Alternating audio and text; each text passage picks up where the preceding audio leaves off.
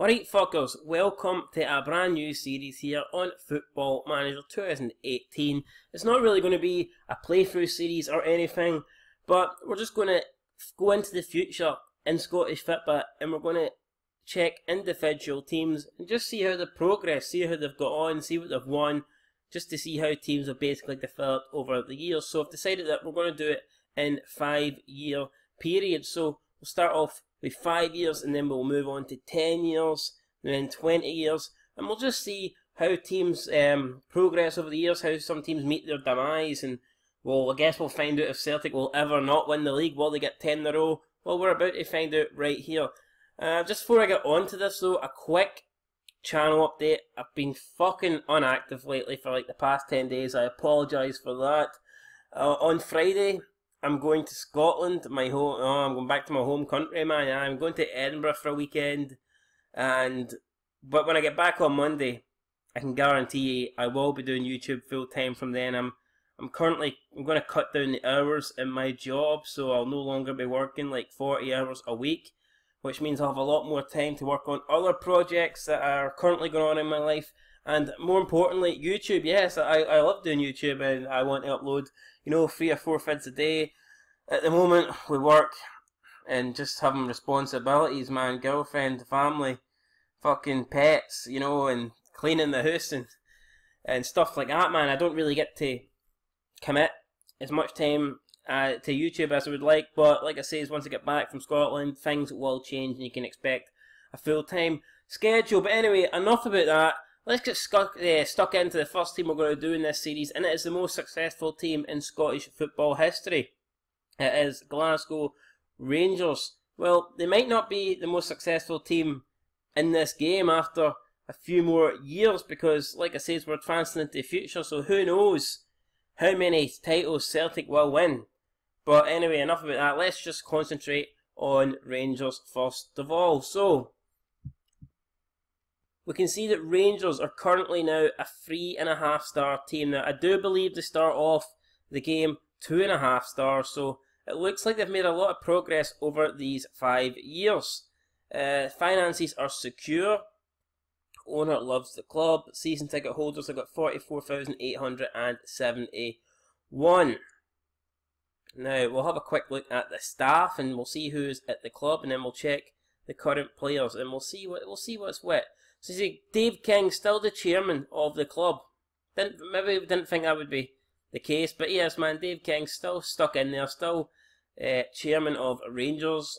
We've got a few managing directors. Not really sure about any of these people. One massive change. Look at the manager. It's no longer Graeme Murty. It's Derek McInnes. So Derek McInnes turned down an opportunity to go to Rangers in real life, but it looks like he didn't turn down the same opportunity in Football Manager. He is the current Rangers manager. He's getting on seven seven thousand two hundred fifty pound a week, and it looks like he brought his assistant from Aberdeen as well, Tony Docherty. So it'll be interesting to see how Aberdeen are getting on, but we will cover that in a, another video. And it looks like Graeme Murty is still at the club. He's just been demoted, I guess, to coach. So let's check how he has got on here then. Hold on. Stats. Um, how do you check his like fucking managerial shit. Uh, fuck me, come on. Yeah, uh, reserves manager, coach. Doesn't really say there, so I guess he's just, yeah, he's just back to being a coach. So he was the reserves manager, and I guess he just stepped down to his usual position once Derek McInnes came in. Uh, so there you go, big changes at Rangers there. We'll check out their players and see what they're like. So we're starting off with the highest rated valued players. And look at this, Jesse Lingard, Man United's Jesse Lingard is now a Rangers player. Holy fuck. He's 29 years old now in real life. 11 caps he's got for England. That's crazy, valued at 18.752 million. So obviously Rangers must be doing alright now if they can afford players like Jesse Lingard. That's crazy. His stats aren't the best, I don't think so anyway, to value him at that much, but Oh, that's what he is. So he's he's doing he's doing really well there, I guess. Um, let's see here. Career stats. What the fuck was that, man? Uh, hold on. Where are we going? Career stats. So yeah, it looks like he jo- he joined Rangers on a free, so that kinda explains why he's at Rangers, I guess. so the Rangers didn't go out and spend some massive fee on him. But still, that is crazy. Man United, that was, that was poor management for Man United. They must have just let his contract run down right till the end, and then Rangers have come in, signed him on a free, and he, I think he did pretty well there. If you look at that, five goals, three assists in 18 games, a 7.13 rating, and then uh, that's actually really good. That man, that's not bad in his first season at Rangers. Who else they got? Fabio Cardoso, still at the club, and he is now worth 13.25 million. I don't think he'll ever be worth 13.25 million in real life. But uh, there you go, man. Fabio Cardoso. Like, looks like he turns into a really good player. They've got this guy, Toure Ab, Dean Henderson. Who the fuck's Dean Henderson? A young keeper. Was he at Rangers his whole career? No, it's another Man United player that Rangers signed. This time they've got him for 1.8 million. So, looks like Rangers like the Man United players, but Ah, he seems like a very good keeper to have. Got Stuart Dallas, the non-Irishman, 7.5 million. When did they sign him? Signed him in the 2021 season. Looks like he did a good job. His average rating's pretty good. So I'm looking at this Rangers team, and it is much better than the team that they originally start with. Got uh, Ryan Jack. Seems like he's been listed six million asking price. He's valued at seven. We've got Marcus Maddison Greg Taylor for Kilmarnock, they've signed him. They've got Ryan Christie, oh, so, so former Celtic player, playing for Rangers. Greg Docherty. You're looking at this team, there's a lot of players I know there, so Rangers, it looks like they have done well over the season and they've assembled a very decent squad. Now, to me, this looks like a squad that can challenge Celtic, but the question is, has it challenged Celtic? Well, that's what we're going to go and find out now. We're going to go and look at how Rangers have did over the last five years and we're going to see have they claimed that 55th league title. So in their first season, Rangers couldn't get the job done. They couldn't win the league, but they did finish second, which you know was probably their aim at the start of the season. But to finish a staggering 33 points behind Celtic, that will not um, please the Rangers board. Derek McInnes did come in halfway through the season, and Graeme Murty was obviously replaced. So maybe that's not a fair reflection of how Rangers did. You know, maybe if Derek McInnes was there from the beginning of the season, could he have got them closer to Celtic? Well, we don't know. But what we do know is Rangers finished second, and they finished above their other rivals like Hearts, Aberdeen, and Hibs and stuff like that. So good season there for Rangers. So in terms of transfers, they were pretty quiet. They didn't actually bring that many people in. They brought in a Scottish wonder kid, I guess a lot of people said.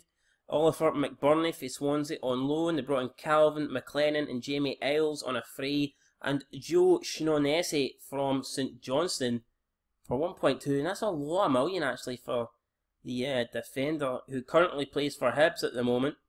Value at 3.8. That's interesting. But Rangers paid 1.2 for him. So it'll be interesting to see how much they sold him on for. But like I said, Rangers not bringing in that many players in the first season. Now looking at that, I can see why maybe they finished so far behind Celtic because I think they need to bring in a lot more, you know, quality if they're going to try and compete at the top of the table. In terms of who did they let out, well, they let out a shitload of people on loan. You got Barjonas, Rudden, Ross Lyon, Davy Bates. You know, the list goes on and on and on and on and on and on and on. And that was it, really, just loan players. So you see, Rangers, first season, got a lot of the young players out on loan to you know, try and improve them, get them experience, and then just brought in a few players, um, most notably Joe Shaughnessy from St Johnstone for 1.2 million. Rangers did pretty well their first season back in Europe. You see, they advanced over Bangor City in the first Europa League qualifying round, 8 0 win at aggregate. Then SJK disposed of them 6 1. Ordabasy, they beat them 7 1 in aggregate. But unfortunately, when they got to the Euro Cup playoff to get into the group stage, they got a hard draw against Marseille and then they lost 6 1 on aggregate. So, Rangers doing pretty well. I think they get to the playoffs, albeit you could argue they got really lucky with the opposition and the draws. But they just came up against Marseille and couldn't get the job done. But we all know Marseille, quality team, a lot better than Rangers. They managed to get to the uh, semi final of the Betfred Cup where the run was ended by rival Celtic. Ryan Jack got the opening goal for Rangers, but Callum McGregor cancelled that out, and then late on, Johnny Hayes got the win to put Celtic into the final. So that must have been disappointing for Rangers fans to swallow. And then in the Scottish Cup, fourth round, they defeated St Johnstone 3 0 away. Good result there to move on to the fifth round, where they were yet again beat by Celtic. And Celtic again ending their hopes in another cup run. You'd Scott Sinclair, a Jak Alnwick own goal, and a Paddy Roberts goal, putting Celtic 3 0 up. Then Aaron Neiman got a late constellation for Rangers, but with four minutes to go, there was never any real time for Rangers to get back in this. So, yeah, there you go, man. Rangers' first season, at least to finish second, but that's probably the only successful thing you can say about it. Graham Murray was sacked halfway through the season. They didn't get into the uh, group stages of the Europa League, and they got knocked out of both cups by their fierce rivals Celtic. So, a disappointing first season for Rangers. But the second season seen a bit more success for Rangers. Yet again, they did finish second to eventual league winners Celtic. They won't be happy about that. But what they will be happy about is the fact that they cut the gap just down to seven points. So, I mean, 33 to 7, that is a huge gap there that Rangers have uh, brought the points down by. So, definitely they have improved. We'll check out who they brought in. They must have brought, you've got to assume that they brought in a bunch of players, or perhaps it was just Derek McInnes' first full season. Has he worked his wonders and has he got Rangers turned them into a lot more competitive team? We'll find out. So here we can see, I think this explains why Rangers were a lot closer to Celtic. Look at the amount of players Rangers have brought in. Derek McInnes certainly was busy in these transfer windows. You got Greg Taylor coming in from Kilmarnock, 825k. Got uh, Cameron Dummigan, Callum Smith, Matthew Kennedy, Harry Bunt, Krystian Bielik coming in on loan for Arsenal, Dylan McHugh, good player, 550k for Hibs. Got Ethan Ostuma and Sam Wardrope coming in free transfers. Jay-Roy Grot coming on loan for Leeds. Ian Wilson coming in for Kilmarnock. You got Ali Crawford, who must have let, uh, Hamilton must have let his contract run down. Rangers bottom in a free. And right at the bottom, look at that, Ashley Young. He's he's retired now, but Ashley Young back then he'd have still been a decent player and definitely a great player for Rangers to sign. Uh, looks they got him in January there, so all in all, man, great. They only spent 2.6 million, yet they acquired all those players, so that is really good for Rangers. Now, who did they let out? They let out Lee Hodson. He went to Peterborough. Josh Windass. I'm surprised about that. They got rid of Josh Windass. Also got rid of Harry Forrester. Uh, Joe Dodoo. Got, uh, let him go as well. Andy Halliday. 175k. So you could say that mostly just their fringe players Rangers got rid of here. And then they've also loaned out a shitload of players. Uh, only 625k in total. So again, it looks like this was a transfer window where Rangers definitely improved their team. So I'm not surprised that they finished a lot closer to Celtic. And how did the new look Rangers squad have effect in the cups? Well, as you can see, they turned round second qualifying leg defeat to Maccabi Tel Aviv, and they managed to actually beat them 2 0 in advance into the third round, so they did well to come back there. In the third round, they got Başakşehir, and they disposed of them 5 1 in aggregate. Uh, fourth qualifying round, they got a tough tie here against Braga. They lost the away tie, the away leg 2 1, but managed to win the home tie 1 0 and advanced through on the away goal. So Rangers, for the first time in is it like seven years, are back into European football and they will be participating in Europa League group stages. So who how did they get on? What have we got here? What have we got here? They got Group D, they got Basel, Cologne and Club, Club Bruges. Pretty difficult group there. First game away, they won in Switzerland 2-1. Uh, second game at home, they got 2 0 win over Cologne. Rangers on fire here at the moment. Uh, they followed that up with an away defeat the Club Bruges, unfortunately. The return leg at Ibrox, a 2 2 draw with Club Bruges, so 7 points after 4 games, not bad. Um, then they beat Basel at home, 3 1. And then their final game, they lost to Cologne 2 0, so 10 points out of six games. I'm pretty sure that must be enough to take them into the knockout stages. And you can also see in the Betfred Cup, they managed to get all the way to the final where once again they lost to Celtic.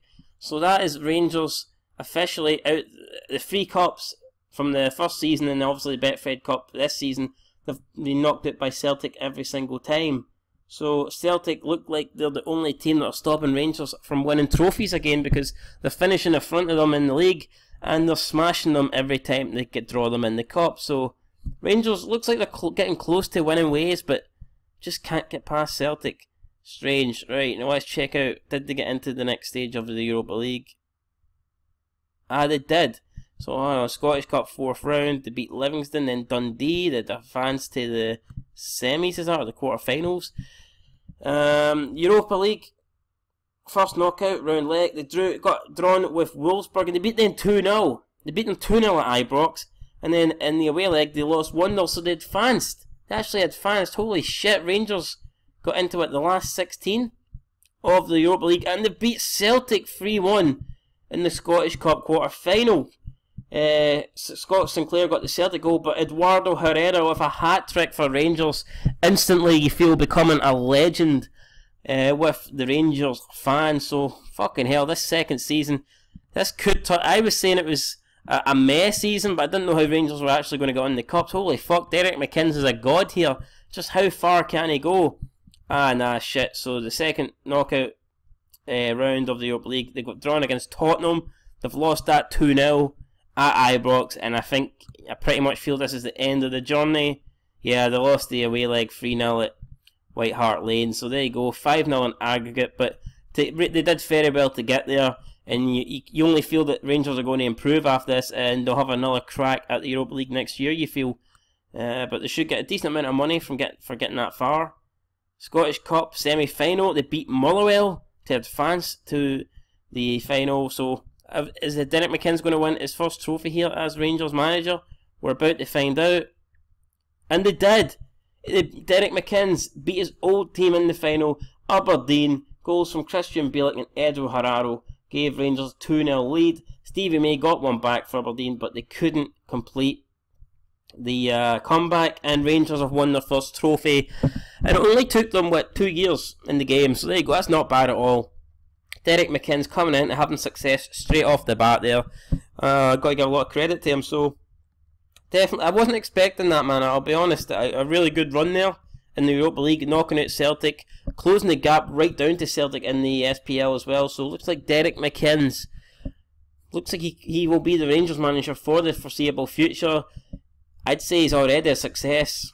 And just how many more years will it take Derek McInnes to catch Celtic? Could be next year. Let's find out. Okay, so this is really surprising. Here you can see third season in the Scottish Premiership, and Rangers have ended up finishing fourth. So after finishing second twice back to back, uh, Rangers have dropped two places this year, and I'm shocked at that. Considering that last year they finished second, gap they cut the gap to Celtic down to seven points. They had that really good run in the Europa League, they won the Scottish Cup final, knocking out Celtic and beating Aberdeen in the final.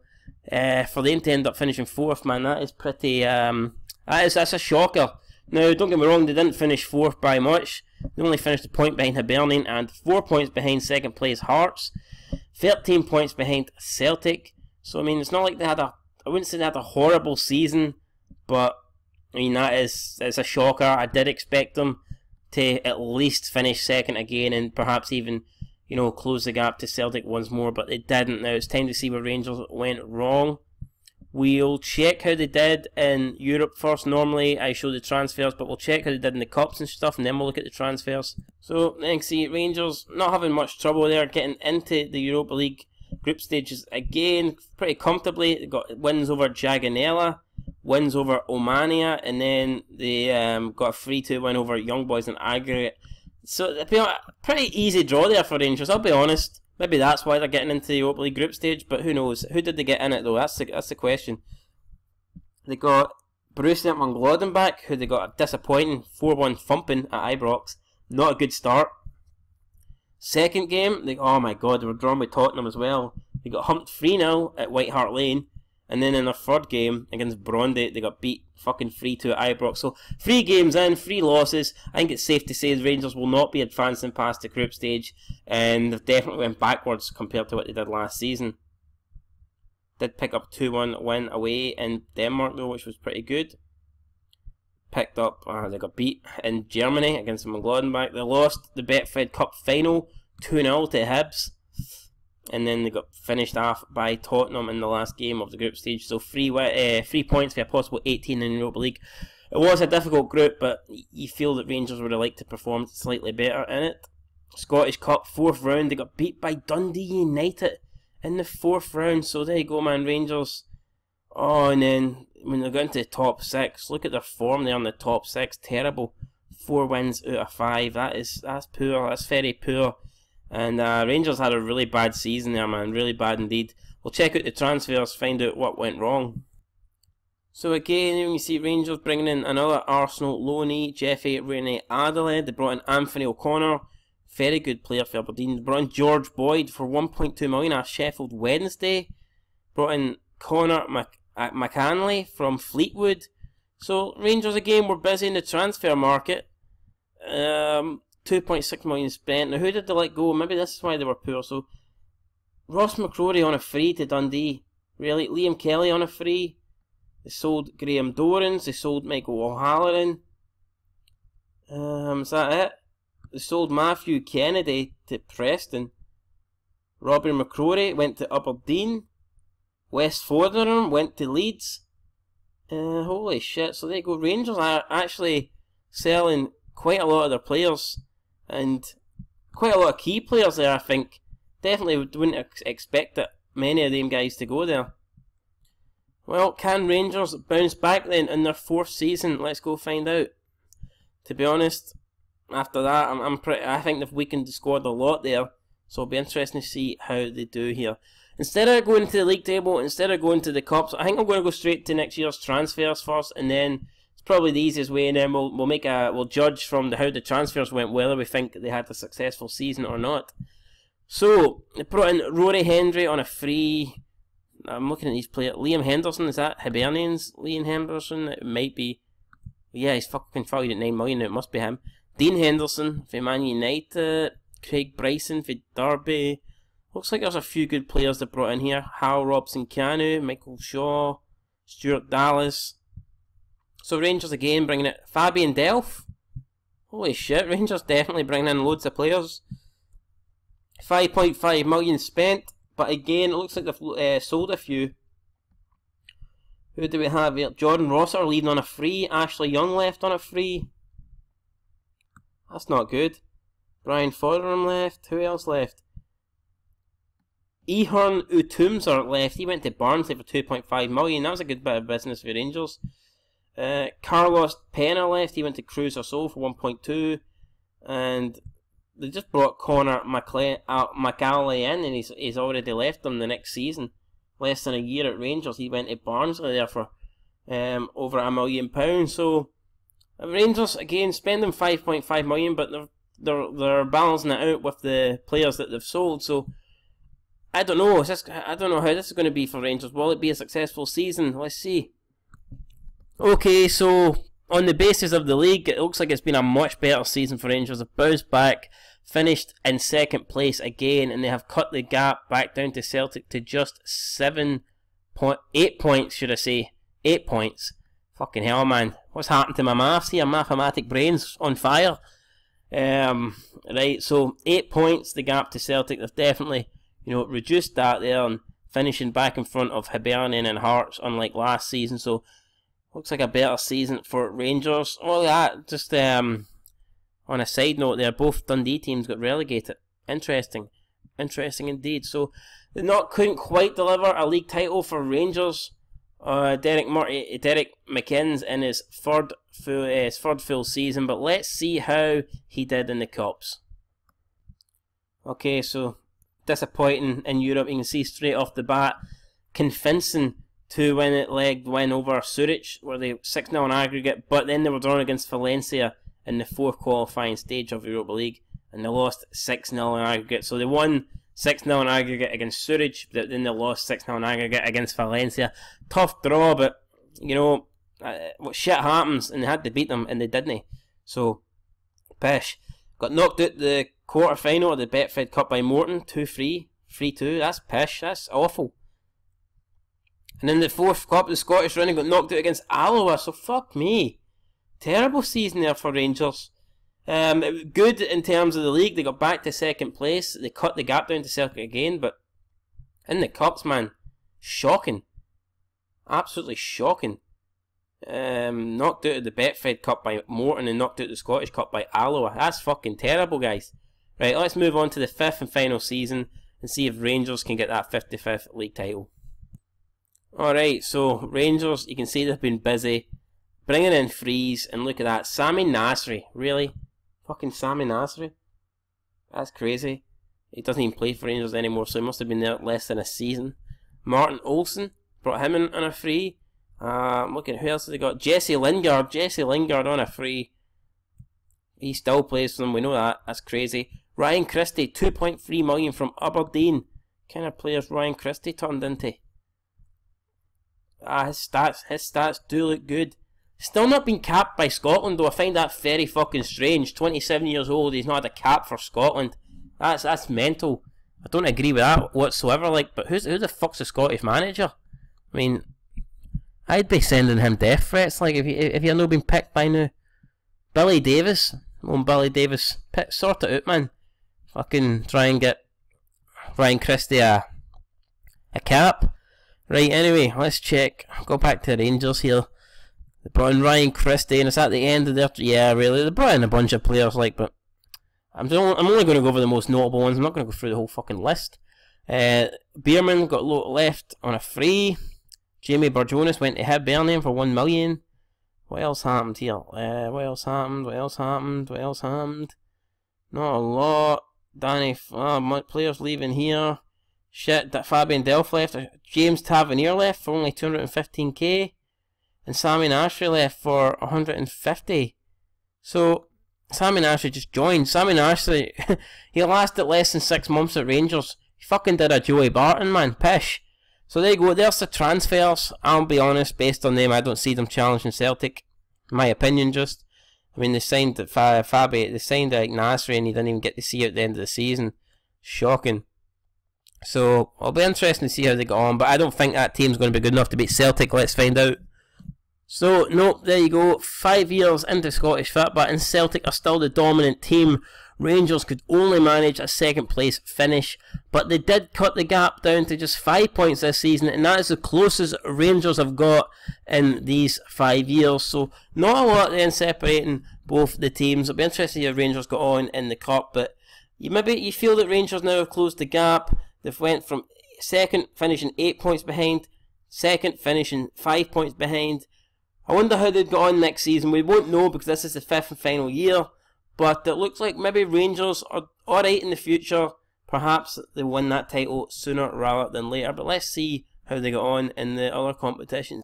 Okay, so straight off the bat, I can see that Rangers were actually in the Champions League qualifiers, which must have meant the coefficients went up since the start because um, Rangers finished second so Scotland must have got back into the top 16 of the Scottish coefficient, which is fucking great, man. Fantastic. That's what we want. Two teams back in the Champions League. Unfortunately, they weren't in it for long. Lost in the first qualifying, well, the third qualifying round, but their first attempt. Lost 4-2 in aggregate to Sena. Sena, Senate, St. Petersburg. Fuck me, Jimmy. Pronounce the names, God damn it. Pronounce the fucking names. It's not difficult. Well, maybe for me, like, but come on. Right, anyway, they lost that Champions Cup quali third qualifying round leg, which meant they dropped into the Europa League. We'll cover that in a minute. Um, beat Aberdeen in the Betfred Cup quarter final, which is no bad. Who did they get in the Europa League? Let's find out here. They got Sul Wagarem, who they beat. Yes, I know I'm butchering these names, man, but fuck it, they'd probably butcher my name. Actually, people do butcher my name all the time, not got a clue to pronounce it, so fuck it. If you butcher my name, I'll butcher your name, and I'll do it ten times worse, so fuck, there you go. Sul Wagarem lost 3-0 to Rangers, then Besiktas got a 1-1 draw away, and then a 2-1 win over Legia Warsaw, so this is looking good. This is looking like Rangers, 7 points at the first three games, looks like Rangers are in pole position here to get out of the uh, Betfred group stage. Uh, beat Celtic in the Betfred, no, Europa League group stage, not the fucking Betfred group stage, someone in that. Uh, they beat Celtic on penalties in the Betfred Cup semi final. So the Rangers are in the final. Can they add another trophy to their cabinet? Got uh, another 1 1 draw there, this time with Legia. Then they lost to Solt Waregem 2 1 away. They beat Hearts 4 1 in the Betfred Cup final. Great performance there from Hot Rangers. Goals from Odsed, Herrera, Sanalas, and Liam Henderson. Jake Quitongo got the goal for Hearts. I've actually recently signed him in my Hearts Football Manager playthrough. So um, that should be interesting if he develops, guys. Let's see what what does he look like right now. Valued at two million.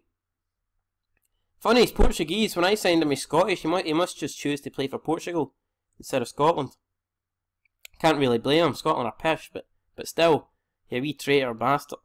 I suppose he's not a real Scotsman anyway. What do you mean he's not a real Scotsman? That's race. Well, come on, man. Jake Tongo. It's hardly a fucking Scottish sounding name.